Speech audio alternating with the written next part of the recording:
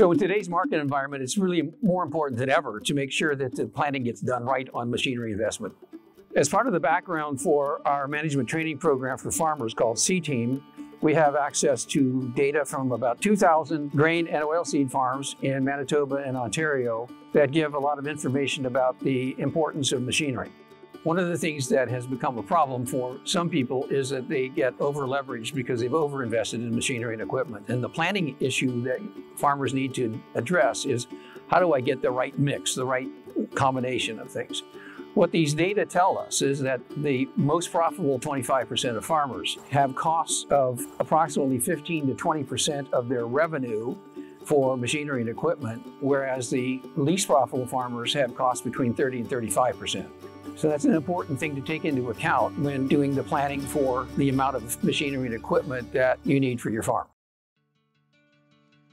So in equipment, there's two different theories as far as farm equipment replacement schedules. And one option is that you uh, farmers or growers will uh, continually trade equipment and have the most modern equipment that way. Or there's the school of thought that I use that I buy equipment and I maintain it well and run it for a very long period of time.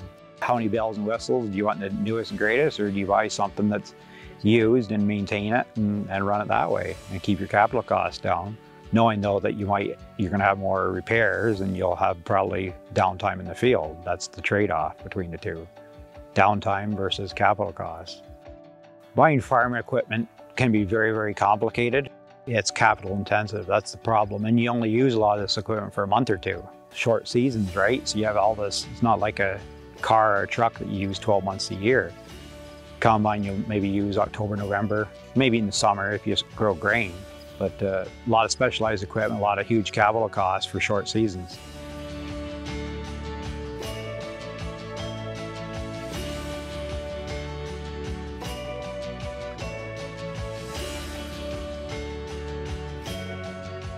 We provide the capital as well as the support to develop the project and connections with the community to help you along the way.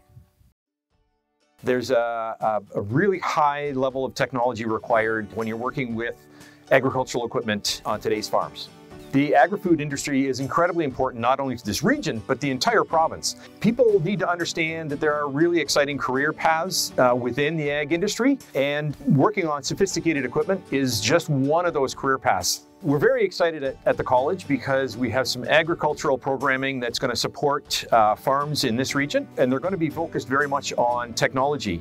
So the programs are designed to bridge people into uh, really exciting careers in agriculture, include maintenance of equipment and the, some of the theory around the ag equipment, and culminate in the operation of equipment, everything from traditional tractors right through the entire seasonal spectrum. This will be a tremendous program for people who are looking to start into agriculture. It's also a tremendous program for people that are looking to increase their skill sets who may already be working in an agricultural sector.